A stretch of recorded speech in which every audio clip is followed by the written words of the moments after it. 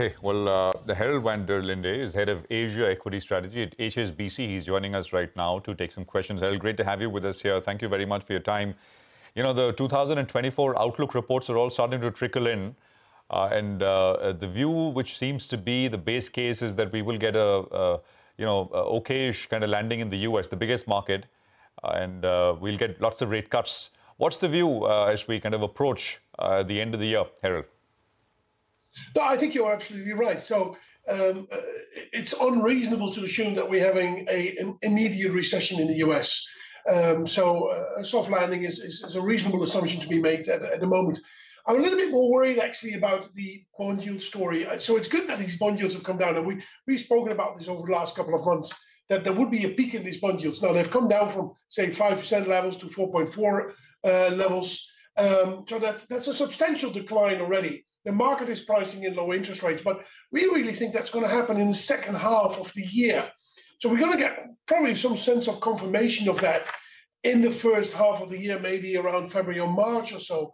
Uh, until then, we've already pricing in a lot of optimism on these bond yields. So uh, there's probably going to be a bit of volatility coming out of that. So we need to keep a, a close eye on the, on that.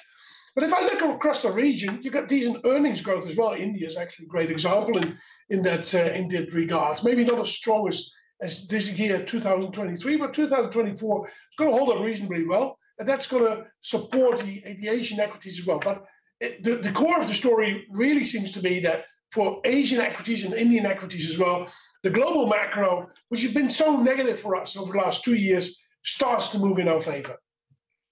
Okay. Uh, Herald, hi, good morning, and thanks a lot for joining in. I wanted your thoughts on how you're approaching the IT space now, because you know you have been a long-term investor in that space in India.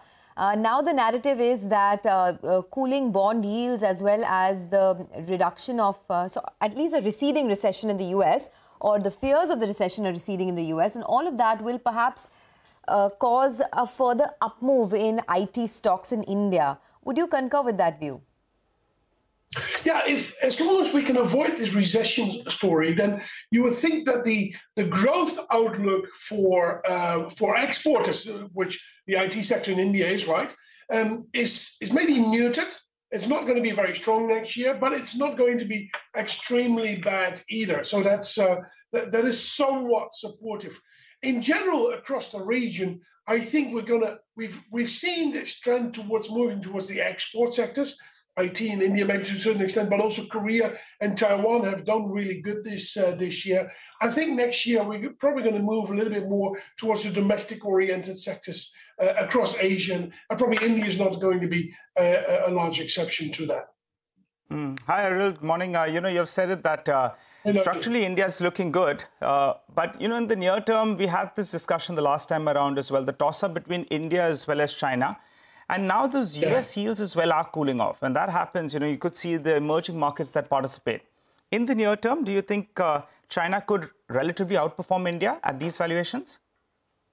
Yeah, I think that is a risk for India. So, um, if you look, for example, so the Indian market is open. If you look at, for example, the internet names that are trading in Hong Kong, so the Chinese internet names, they have just performed very, very well on the back of that. That's they're really sensitive to these lower bond yields. So as the global macro improves, that supports China a little bit more than than India in in the uh, in in the near term.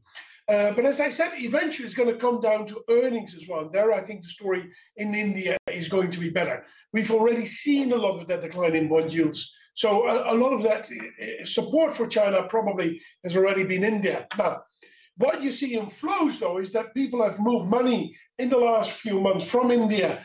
Uh, so we've seen foreign outflows in India towards China they raised their weightings to China close to neutral. They've cut that a little bit again, actually, and moved to Korea and Taiwan and Japan because, you know, the AI story and the DRAM story is not too bad in those markets. So that's where the money is. So I find it interesting as we go into 2024 that if, for example, China does perform very strong, let's assume that for the moment, and if money gets soaked in, does that then come from India or does that come from Korea, Japan, and Taiwan. And I suspect it might actually be the case that a lot of that comes from there and that people want to stay with India uh, because the growth story there is pretty good. So I, I, I, we're, we're, betting on that scenario that India uh, will be somewhat isolated from this, but we'll see if we're right on that front.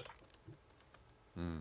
Although, uh, Herald, uh, the uh, you know one view is that when because the uh, the the structure which gets money and most markets get money through is the global emerging market cohort, and when that gets money, mm. and China is still the largest weight, uh, weighted market, and when you know that gets money, everybody gets money according to your resp- the respective weight for countries. So, would you agree with that?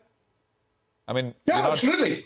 So allocating money, taking away from a dedicated country, yeah. dedicated fund from this to that. I mean, it's largely it comes into the global emerging market fund pool, and then it kind of goes to various countries. Yeah, yeah. yeah.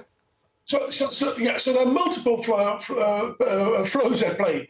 First of all, um, as bond yields rise uh, decline, you see money going into equities globally. Within equities, it goes to emerging markets. Within emerging markets and Asia, it flows around as well. That's what I was talking about. That maybe comes from Korea and, and for example, and, and Taiwan and goes into China. But you're right. There's a lot of talk about uh, emerging markets or Asian markets ex-China, that these funds are, are growing. They're growing rapidly, but they're still very small. They're less than 1% of total AUM. So that they're not really making a, a massive uh, impact yet. Um, and I think there will be limits to that growth as well. But um, um, so you're right. If, if we see general money coming in, it will be positive for uh, for all uh, EM markets. And that's what I mentioned. I think the global environment for Asian equities in general, and India is not an exception to that, um, is increasingly positive after being so negative over the last two years or so. All right, uh, Herald, we'll leave, you, leave it at that. Thanks a lot for joining in. Appreciate your thoughts here on CNBC TV 18.